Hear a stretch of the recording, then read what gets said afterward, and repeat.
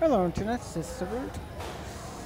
On the way back from work, taking usual longer ride than usual, as I usually do, I came across some anti-choice protesters showing some really graphic, obscene images. Likely stolen from a hospital, who knows where.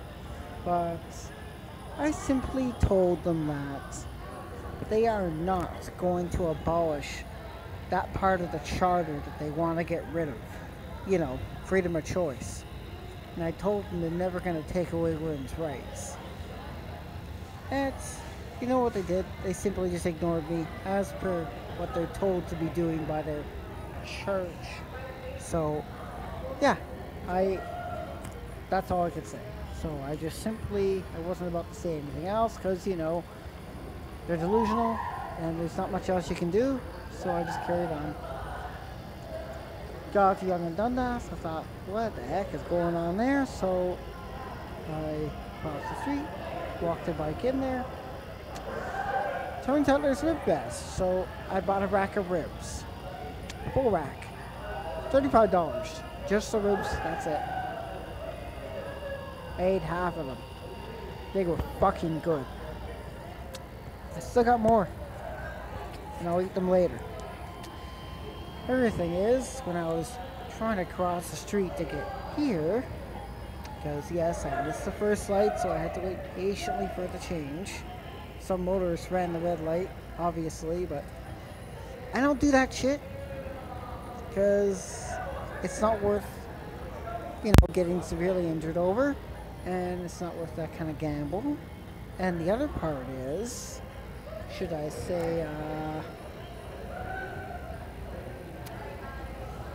I bumped into this fringe recruiter. Yep, under one of the fringe, lunatic delusional fringe. He was going on and on about all these patchy conspiracy theories that aren't real.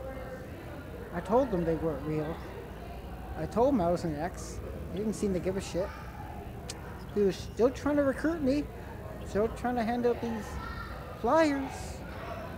He's uh, a little bit taller than me. Probably in his 40s, 50s, or 60s. And uh, that was a little bit of a talk with him. Not a debate, because it's pointless debating someone who's, you know, so deeply entrenched in occult influence that they're delusional. So I told him none of that's real. I told him I'm an ex. And uh, he probably assumed I was gay, but I'm not. I fly the flags because I consider myself an ally. So there's nothing wrong with that. Called me okay, pride guy. That's what he called me. Look at the shit. So I told him, repeatedly told him, none of that's real, none of that's happening, you know, martial law, blah, blah, blah, blah, blah. I told him none of that's happening. He told me I need to wake up and accept Jesus. And I said, what? I'm agnostic. I didn't tell him that, but still.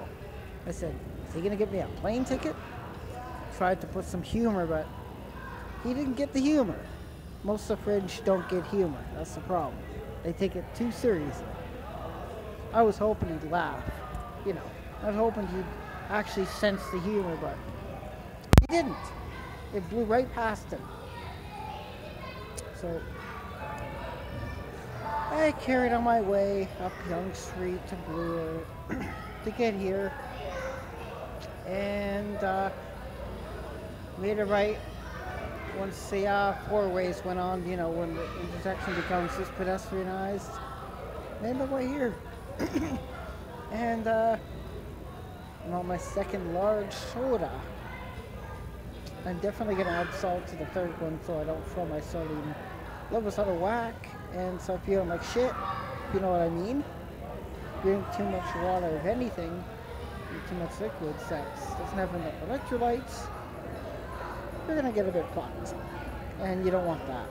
Anyways, uh, rather short five minute video blog. That's nothing bad. Using this decapitated wired headset.